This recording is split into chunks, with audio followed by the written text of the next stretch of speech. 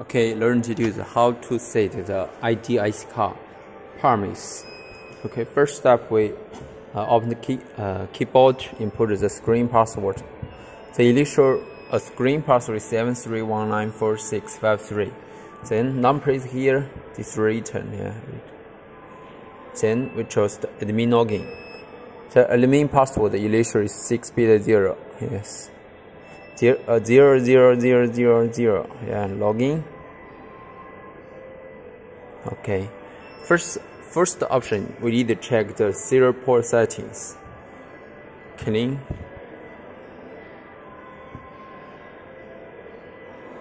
There, there is a IC card serial port. Okay, IC card serial port. But which serial port we need to choose?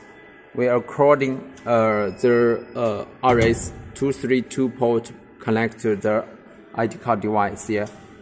You can confirm yeah which port being used to connect the IC card port. Then from here. Sorry. Then from here to choose yeah. For example TTS 0 okay? Then you must be sure TTS 0 haven't another port been used TTS 0 yeah and you need to confirm yeah maybe different Android main, uh, board have different uh, number. Yeah, maybe this is T2S1, T2S3, maybe the last one is T2S4. Yeah, so another is maybe the first one is T2S0. Yeah, you can uh, confirm with the sales department. Uh, okay, then the second option, we op open the information settings. Okay, on the top right corner, they have two transparent buttons. When long press the right one and hold, hold on one second, then long press the left one, hold on one second, you will open another page.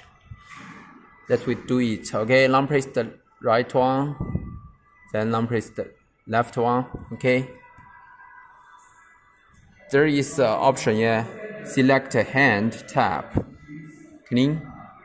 Okay. We chose the ZLGTCNID.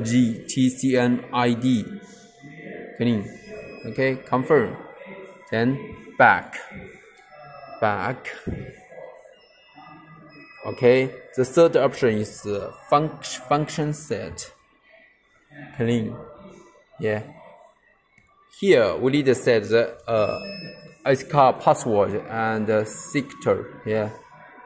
We input the password first. Yeah uh, this is a 6-bit password, yeah. It's the same with the ID card creator application, yeah. Before when you create a new IC card, you, you need to also use the password, yeah.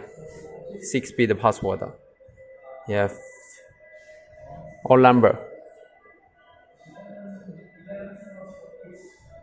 Yeah, this number, uh, uh, this password setting by yourself, yeah. But uh, is not uh, fixed. Yeah, but uh, but this parameter must uh, trust 10.